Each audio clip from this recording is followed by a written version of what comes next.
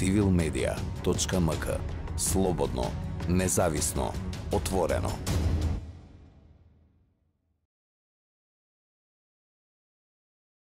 Интересно прашање. Пет најголеми проблеми. Па да ги склопиме во едно, од рурална да преминеме во урбана средина. Тоа мислам дека е нај најприоритетно за секој граѓанин. Меѓутоа ако ги проследиме попратно, мислам дека секој граѓанин сака да е безбеден, да живее во чиста и еколошка здрава животна средина, да има правата секој граѓанин како потрошувач, да си ги знае потрошувачките права и тоа што платила, што добил од својот данок, што што ќе го даде. И секако нели оние благодети што ги има откако ќе платите комунална дејност, изградивте нешто, да ви биде вратена во инфраструктура и капитални објекти. Ако зборуваме э, ова за прашања кои што се во надлежност на локалната самоуправа, јас бидејќи живеам во Скопје, поточно во општината Бутел, од градоначалниците би очекувал најпрво да го решат проблемот со загадувањето во градот, особено во зимските месеци. Второ, ова некој да ја решат гужвата во сообраќајот, да дадат можности за ова за велосипедистите и за тие кои што користат онако тротинет.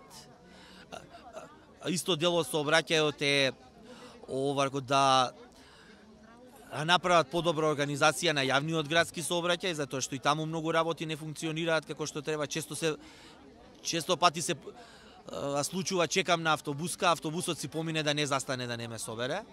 Значи, едно поголема контрола. А друго што треба да се внимава е на изградбата на онако на градот. А, та и се застане на пат на градежната мафија, малку да се неко контролира изградбата на нови згради.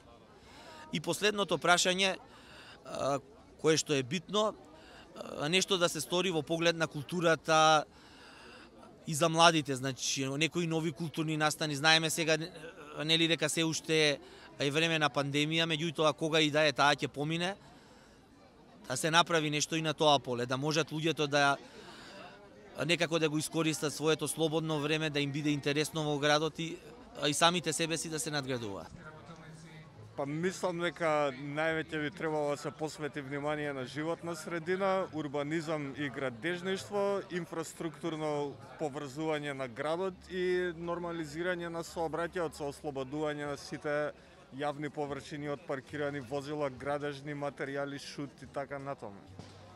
Јас мислам дека на град Скопје како метропола на државата треба да биде пример и за другите градови, а ма тоа што најмногу смета во моментов е дефинитивно е инфраструктурата. Сообраќајот е значи едноставно е лош во градот и затоа патна инфраструктура е многу потребна да биде на ниво А, друго е кога веќе станува збор цело време за нели градење на голе на згради на секаде, односно и, се спомнува зборот урбана мафија и се гради неконтролирано, тоа ако може да го остави некој под контрола некогаш.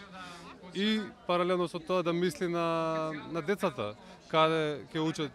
Ако веќе има стамбени блокови и и огромни места за живење, покрај нив секогаш да има и градинки, училишта впишани и паркови за и нели се е тоа еден комплексно прашање каде ќе луѓето што живеат што во градот покрај работата што ја обавуваат дали ќе имаат место за прош... за живот, значи за ете децата да бидат прош... и да да се образуваат и да имаат луѓето место за шетање.